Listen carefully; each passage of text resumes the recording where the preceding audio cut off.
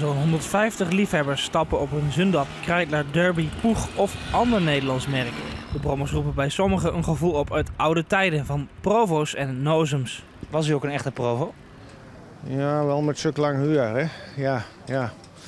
Ja, nee, maar wel braaf. Ik denk nog wel redelijk braaf. Ja. Maar de echte liefhebber, die kijkt vol bewondering zijn ogen uit. U bent een echte liefhebber volgens mij. Misschien wel, ja. Waar let u nou op als u fotografeert? Nou, dat- eigenlijk van alles.